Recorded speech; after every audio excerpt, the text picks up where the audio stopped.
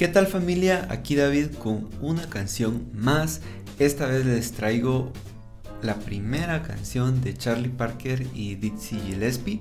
Estos dos músicos son muy importantes porque llevaron al jazz hacia la era del bebop.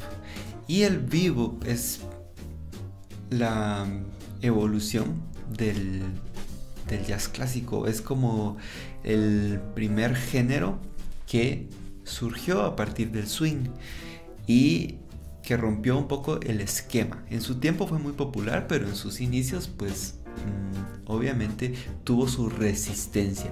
Y gracias a estos dos chicos pues el, el bebop realmente llegó a popularizarse, ¿no? Y me llama la atención, me llama la atención porque em, cuando hablamos de, de música en lo personal, yo yo pienso que el jazz es como que un poco esa evolución de la música. Como que la música tuvo su máximo desarrollo y su máximo esplendor con los genios de la música. Mozart, Beethoven, Bach en la, en la época, en la Edad Media. Pero a partir de ahí como que ha ido reinando la música popular, salvo por el jazz, porque el jazz siempre está innovando.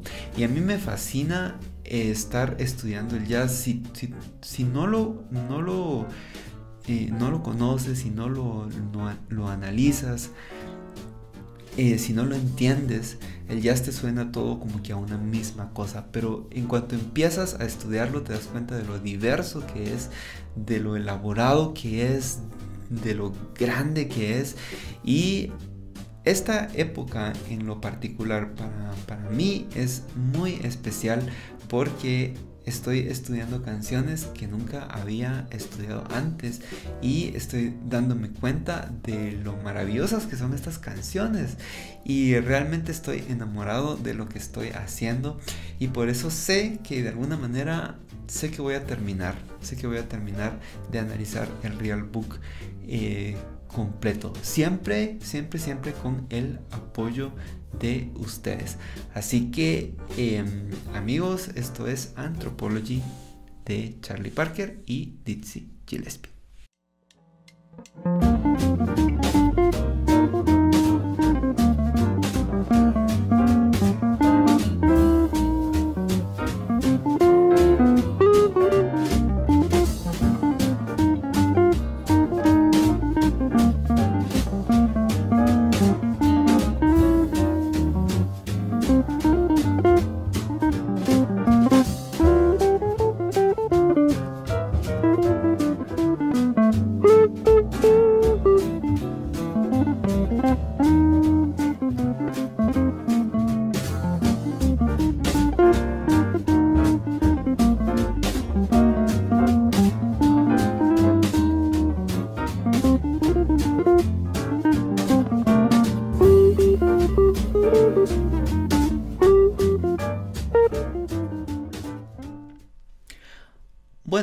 Que me acompañen a la partitura y vamos a hacer una cosa distinta el día de hoy.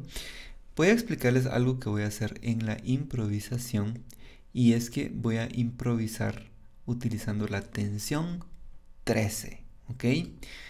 Antes de eso, pues veamos un poquito a grandes rasgos lo que ocurre acá. Es una canción que está en tono de si bemol ¿sí? Es la armadura de clave, si bemol. Sin embargo, yo no tomé mucha conciencia de qué tonalidad estaba. A veces, a veces ocurre, pues lo he visto en muchos músicos que un poco como que se centran mucho en la tonalidad, ¿sí?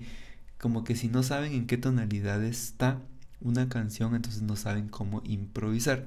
A mí no me gusta mucho este estilo porque si yo pienso en la tonalidad, en este caso si bemol, entonces yo tiendo a encerrarme mucho en la escala de si bemol, ¿sí?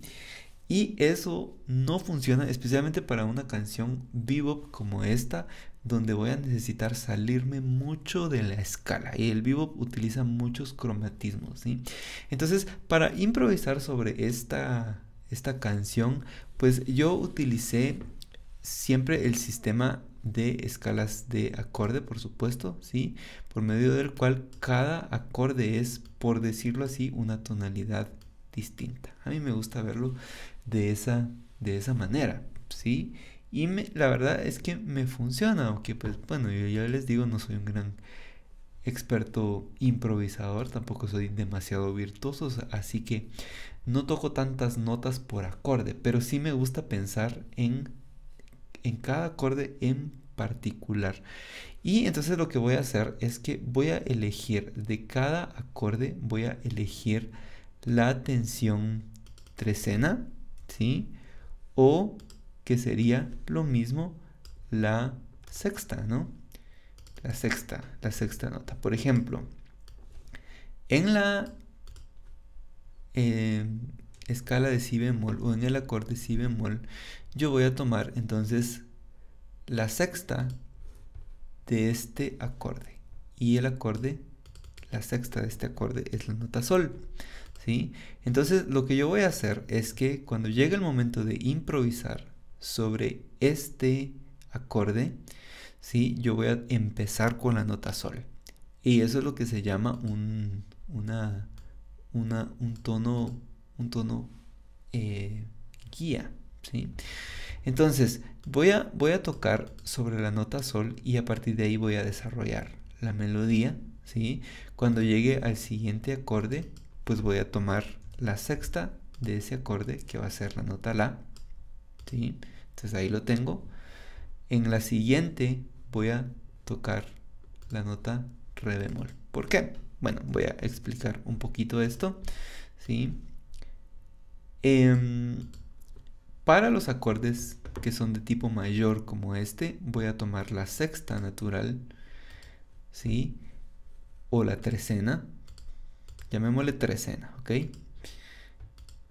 Y para los acordes menores también, aunque para algunos voy a tomar la trecena bemol. Y para los acordes dominantes voy a tomar la bemol 13 o la trecena bemol. Y así me voy a ir sobre cada uno de los acordes y voy a crear pues un solo en base a trecenas. Y esto es un poquito romper las reglas, ¿sí? Como les digo, en el vivo consiste mucho en utilizar cromatismos, ¿no? Y salirse un poco de lo tradicional. Sí, a veces preferimos descansar sobre las notas principales del acorde, la raíz, la quinta, la tercera o la séptima, pero en este caso voy a utilizar la tensión bemol 13 y esto me va a dar un sonido particular para el solo, que ya ustedes pues decidirán si les gusta o no, así que pues les dejo a continuación el solo y aprovecho de una vez para despedirme y los estaré saludando en un nuevo video prontamente. Y recuerden que todos estos conceptos yo los explico de forma ordenada y progresiva en mi curso de armonía moderna y de improvisación también. Y también tengo un curso de, de guitarra. Amigos familia nos vemos en un próximo video Música